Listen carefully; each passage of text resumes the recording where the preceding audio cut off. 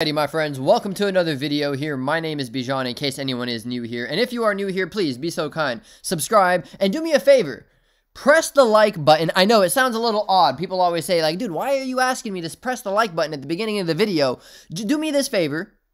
And if you really don't like the video at the end, you can unlike it and then press the dislike button. How's that? A double or nothing type deal here. Do me that favor, press the like button right now. If you end up hating the video, unlike it and then dislike it at the end. Okay, so jumping into it here, we are going to be doing a quick trade recap on a shares trade that I did, but on a long trade now. Now, if you're new here, you probably aren't familiar with my most recent video prior to this one.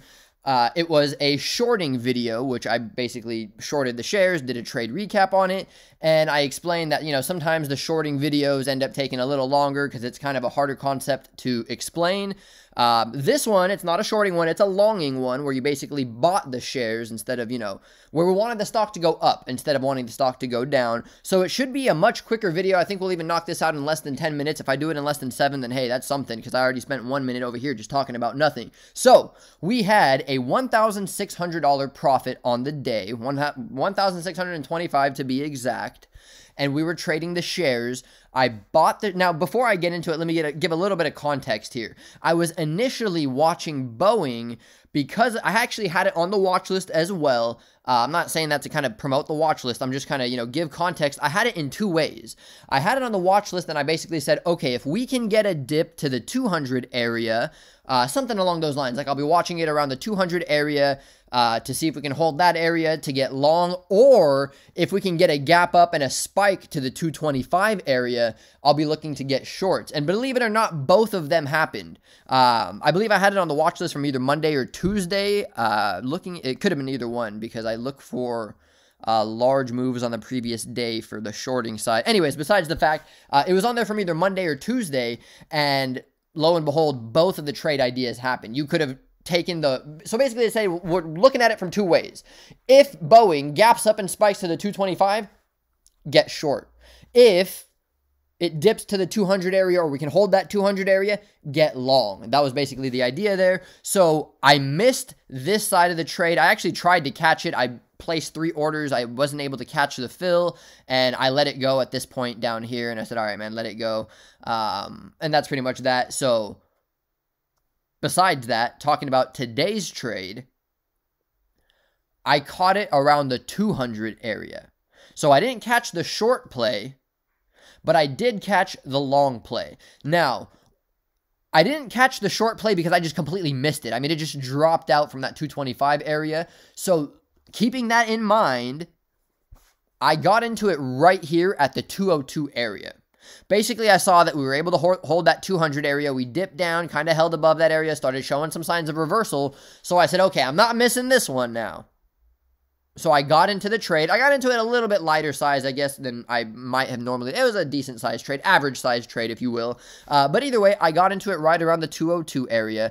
And risk to reward wise, I kind of had my risk right below the 200 area. Reward, I would have wanted it to go up to the 207.50 area, but realistically, I should have taken my profit at the 206, at least some of the profit.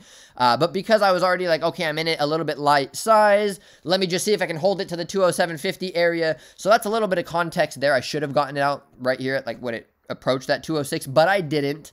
Um, it didn't go against me. I was still in a profit position all day, uh, but I ended up closing it out at the end of the day, right at the 205.15 area. Uh, I didn't really want to hold it overnight, and I mean, I figured it's already pretty much hit that 206 area. I don't need to get that greedy with it. Um, and that, that's pretty much that idea. They're giving you guys the context of the trade now. I'll zoom out a little bit. It might be a little bit too much zoomed in here for you guys. Um, and again, I apologize if I'm talking a little fast. It's because this is pretty basic stuff in terms of saying, hey, we bought the stock here, we sold it there, as opposed to the shorting example where it's a little more, uh, needs to have a little more explanation behind it, if you will. So, Let's look at the orders. We were in at 8:32 a.m. It shows it broken up a little bit, but don't worry about it. It was all a total of 500 shares at the price of 201.90. So right around the 202 area, which is basically right here, the 832 area. Then I sold all 500 shares at 1255 So it was about a four hour long trade, an all day trade. So I guess this also goes to show for some people that, you know, aren't able to be there right directly in the morning or catch those morning trades, hey, you could have placed it on a lunch break or a break or something, close it out at the end of the day. You know, you place your alerts, all of that. Anyways, I'm not trying to get too sidetracked here. So we had a profit of about $3.25 total. Uh, let's just say 202 to the 205.25 area, we can say, to make it easy for you guys the calculation there.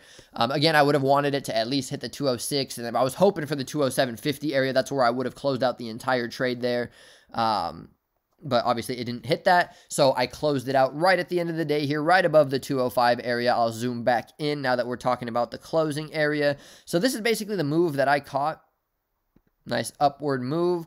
And really, there's not much more that goes into it here, guys. We're already five, six minutes in, and I'm pretty much ready to wrap up the trade video here and kind of move on. Uh, and that's pretty much that, guys. So to kind of wrap it up now, I'll do a little closing notes after this. I'll do a quick little recap on it. I bought the shares here. I sold them up here. Quick little move, I guess you can say. Uh, gave us a $1,600 profit. It was about a four-hour long trade. I had 500 shares. I was in at the 201.90 out at the 205 15 area. And that's pretty much that, guys. So we are going to wrap it up here. Just I'll do my closing notes now. If you are interested in joining the watch list that I mentioned, you can go ahead and check out the link in the bio. I'm offering a special trial offer for it just for the month of November. And I'm also offering a really special Black Friday sale on the course that I offer. I try not to push the course too much because I know people don't like to hear about that stuff these days. But at the end of the day, if you're open minded and understand that, you know, you can definitely learn things and, you know, anyways, I don't want to start pitching the whole course. Uh, it's a new course, completely new. All the lessons are new, made fresh from 2020. Uh, I left like three to five of all 70 lessons. Three to five of them are still old lessons. I left that there uh, just so that in case any new people do join the course, they don't think, oh, I'm just some random kid off of the block that just made this course. They can see I kind of have that history there. Um, but anyways, mainly the reason why I did that is just as like kind of a gift to my students, if you will. Uh, normally, these teachers and you know educational, financial educational people will just make a whole new course and say, hey, if you're my student, I'll offer you a discount. But you know, I'm not like that. I wanted to kind of give you guys a whole refresher. So if you are one of my students, you know, go ahead check out the new lessons. Uh, if you're not one of my students but wanted to learn, go ahead. You can click that link. You'll get a discount for the Black Friday as well, or you can email me, contact at Bijan Trades. But that's pretty much that, guys. We'll wrap it up here. As long as I had less than 10 minutes on this video, I think we're good. So hopefully I didn't lose too many of you there. Just please be so kind. If you didn't press the like button at the beginning, press the like button, you know? It's not going to kill you. And if you did press the like button and you hated the video, I guess, you know, I got to be a man of my word. You can go ahead and press the dislike. But hopefully you didn't dislike it. There wasn't much to dislike. I told you guys why I got into the trade, told you why I was looking at it, this, that, and the other. And that's pretty much that. So we'll wrap it up here. I hope you guys did enjoy it. Just check out the links in the description for my social medias, you know, everything and all that. And we'll wrap it up and I'll talk to you guys soon. I hope you guys have a great night, great life, great just be great. I'll talk to you guys soon.